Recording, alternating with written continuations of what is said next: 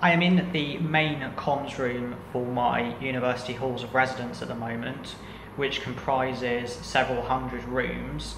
And today I'm going to be giving you a bit of a tour of how this network operates and provides high speed internet access to all those students with all of their devices. Let's start off our tour with where the internet comes into the building from the internet service provider and that comes in through this black fibre cable here from outdoors and then connects to the Tyco fibre splice box. And then out of that comes these two white fibre cables one of which goes to each of the fibre modems or ONTs and this ONT at the bottom here is the most active one and you'll find out why in a moment as you can see there so these take the fibre in, modems and effectively spit out an Ethernet connection using normal category cable there. And then that passes its way across, up across the building, and then down into here. So it comes out as there, and these two network cables then effectively go into the comms rack, which I'll talk about in a moment. This is the main comms rack for the site. So I will start off talking about where the network comes in from the first ONT, which is the most active one. So that ONT connects through this cable here, through the route I just spoke about, and then it connects to the rest of the site through there. And what this box is, it's a MikroTik router board, and it does firewall NAT routing and captive portal as the label suggests. And there is the network activity across this network at the moment and you can see it's got flashing LEDs there. So it's output to the rest of the site, so everyone, all the students here connect through effectively that network cable there, or almost all of the students. And that then passes across the top here and then goes down into a Cisco Catalyst 2960G, which is at the top here. So you can see that's flashing quite, quite brightly. So the blue cable coming out of this then connects essentially to a whole array of other Cisco 2960 switches.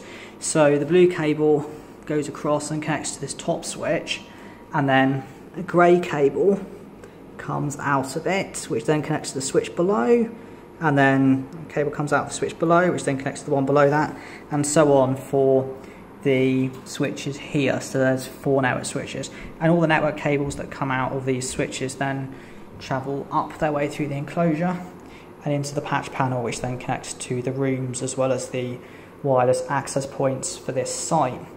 Now those of you who are observant will have noticed there's a fibre cable here so these fibres then go across the top and into a fibre panel here which then goes across to the other side of this site where it then comes across and down and effectively connects to another switch like this one, and then this this switch on the other side then effectively connects to another whole bank of switches and then network cables and then another patch panel to then serve all the people on those site. The only difference in terms of the second site is obviously it's served over this fibre here, so it doesn't have that connection there and it doesn't have the router board and so on. It's essentially just like another set of switches but connected over fibre rather than Ethernet. The second ONT and the second fibre line, which I said wasn't very active, um, serves this Zyxel router. And this router then serves a few people around this just for Wi-Fi. To do load balancing over two lines, the MikroTik router board needs a certain configuration at the ISP end, which isn't available yet. So we essentially need a NAT box between the second ONT and the router board.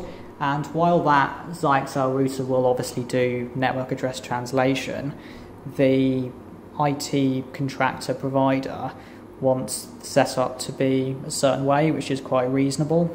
So they'll be sending something over so that we can effectively move the whole site over to be using both lines, both fiber lines, rather than just one of them because obviously from a performance standpoint, this whole network does serve several hundred users, like I say, so it would be quite useful to have twice as much internet incoming network capacity as we have currently because like while the traffic going through there might not be very much at the moment it's not, it's only about 5 pm at the moment. So come 9, 10, 11 pm, there will be a massively higher amount of traffic going through this, which does at the moment pretty much saturate the first ONT. So obviously getting the second one will massively improve performance across this site. So thanks for watching this video about the comms room at this university student accommodation halls of residence.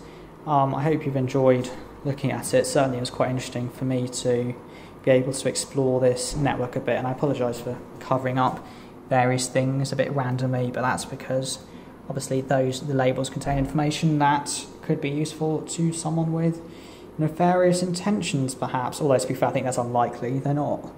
They're not actually particularly useful to an external party, really. Um, but yeah, thanks again. I hope to see you in the next one.